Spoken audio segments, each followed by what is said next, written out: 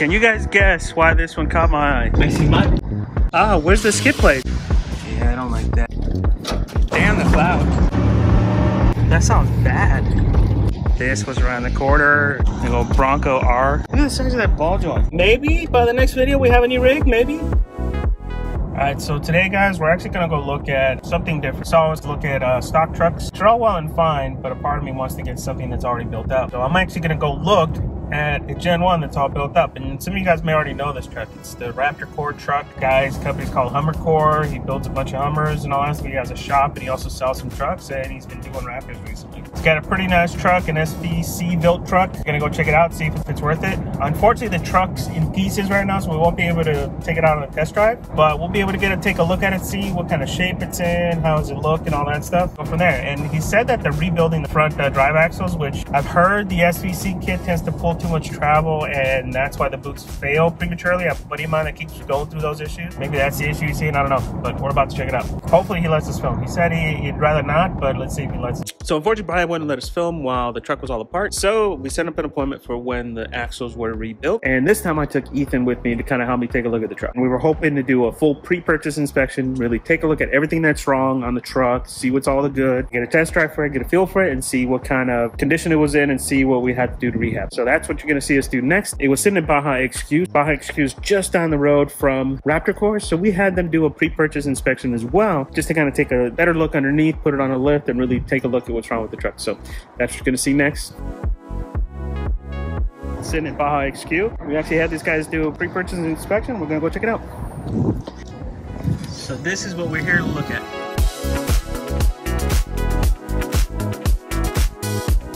Can you guys guess why this one caught my eye? Check out the back tires. The back tires are pretty bald. This one's flat. I mean, like we need a better way to hold some of this stuff, but looks pretty good. Considering. We're gonna get underneath and take a look.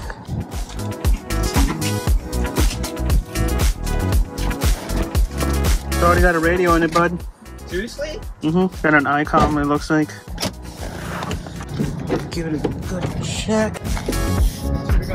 Yeah, the fenders are basically white from all the pitting. Now, this should be a warning to all of you guys. There's a reason why the Raptors have steps. If you remove those steps, this is what happens to your fenders. They just get sandblasted and pelted, and there's nothing you can do about it but put the stock step back on. So, take this as a PSA. Don't remove the stock steps off a Raptor, or you can ruin your fenders. Thing looks pretty good back here. Open that up. It up, right? Yeah, lift it up. There's no little handle over there. Push that side down. That's weird. That's supposed to flip down, right? Because isn't the jack and all that stuff behind it? It's got some stuff back there. I'm looking for like rust and all that stuff down here. We're gonna have to get underneath it as well to see if it, it's got any rust. I see no rust down there. I see mud. Much to be expected, bud. Ah, where's the skid plates? It- it. yeah, but it, it's missing both the mid and the rear skid plate. I can understand with this thing, but they're like, No, even this. The regular skid plate should be able to clear that. Huh. We're gonna have to get some skid plates for this thing. Yeah. Either that or get some fabbed up. is that too expensive or no? No, it's not too crazy. Ethan, do me a favor, bud. Look under here. Huh? Look under here on both sides. Make sure that there's no rust on the cab.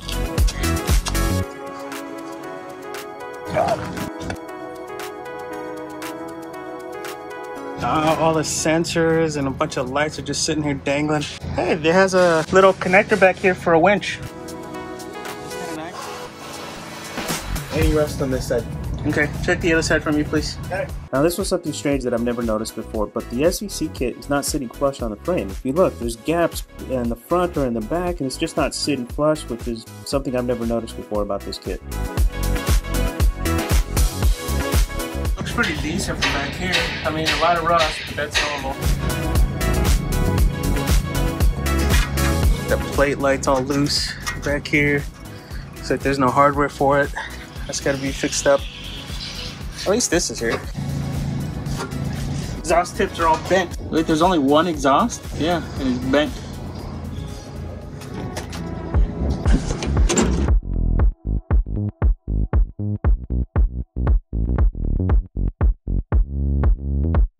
This stuff come included as well?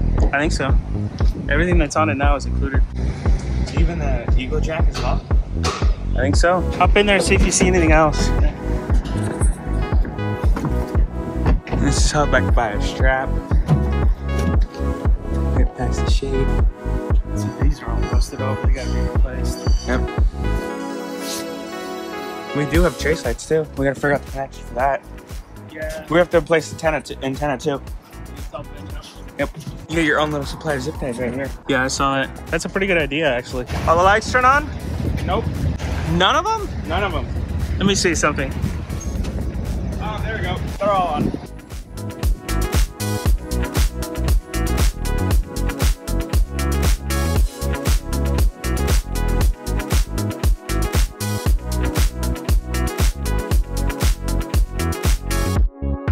Now, one thing you guys should always check, make sure that these work.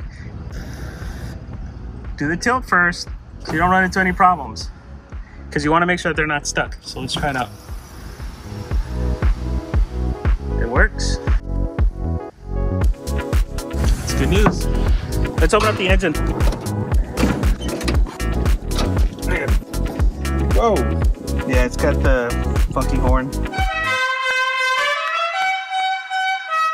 So, see, this this always bothers me when I see this brass nest of cables, and it's because of the amp steps and a bunch of other stuff he's got going. A couple things you want to check. He's still running the stock reservoir, which you read the forums. There's a lot of issues there. And then let's see if fuse 27's been done. Nope.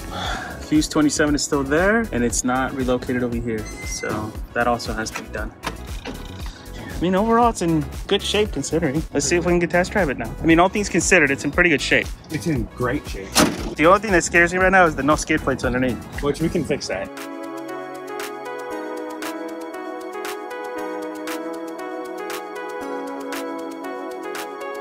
Now, since we're here, we're at Baja HQ. We noticed this was around the corner. So we're gonna go check that out. This thing is fucking awesome. Whoa. What do you got? Well, it's a race truck, bud. See the Lowrance system over there? Yeah. What does that say on it? Someone just drew on it. It says poop. Look at this thing, man. This is a proper truck. Beautiful is what it is.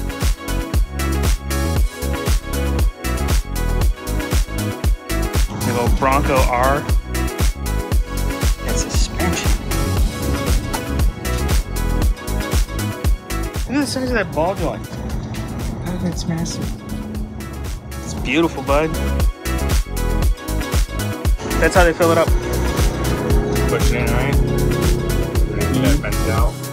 Well, you had to vent it out to get it to fill up quicker. That's cool. Yeah, this car is cool.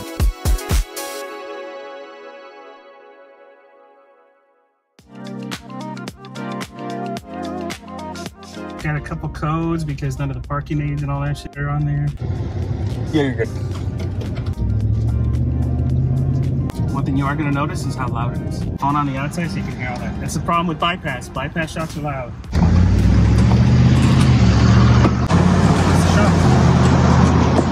Damn, that's loud. It is, right? That clanking.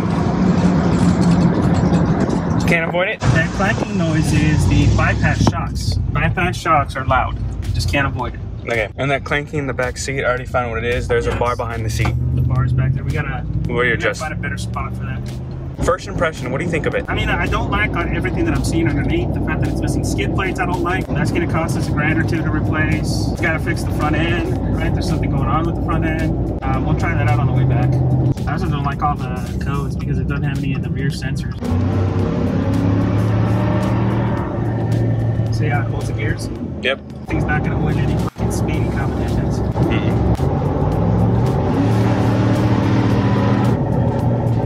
take off like the Raptor does, that's for sure. Nope. Braking's a little fucking weird.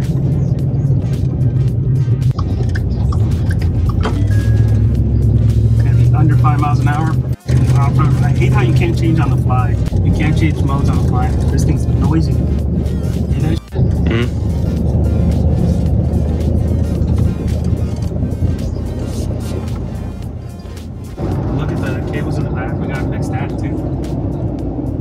Okay, so are you gonna test four wheel? Go the four wheel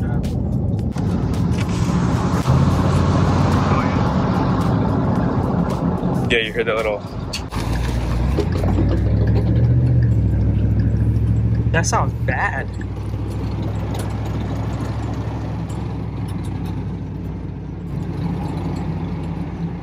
Let's see how this thing does a U-turn. I've heard the bulkhead ones can't really turn.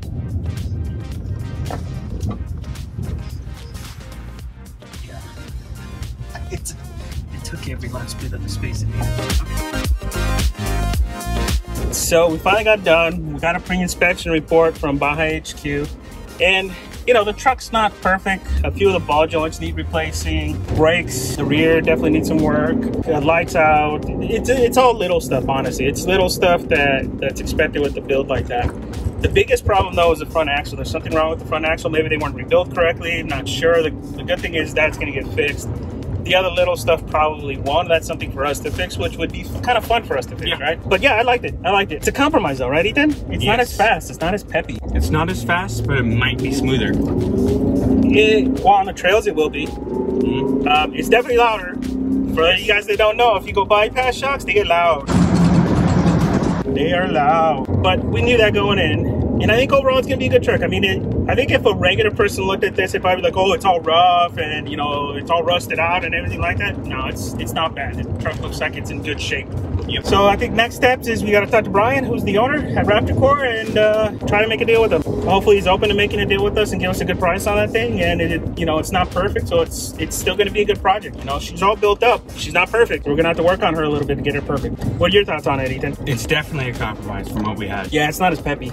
Not as peppy, not as fast. Doesn't want to take off, Uh, but it's different, right? I mean, it's It's it's, so more different. analog. There's no Yeah. drive modes or anything like that. It's gonna be more based on our skills now. It's Don't gonna be different. Do not crash it. We definitely have to take care of those skid plates. She's gonna need skid yeah, plates. she's gonna need skin. do not want to run without skid. Think of all the sandblasting that's going to happen under there. So I know, and all that she's stuff is exposed, all the important stuff. Gonna need skid plates. So we got to work on that. All right, guys. With that, put any questions, comments below. Don't forget to subscribe, and hopefully, maybe by the next video we have a new rig. Maybe. I don't know. We'll keep looking. See you guys in the next one.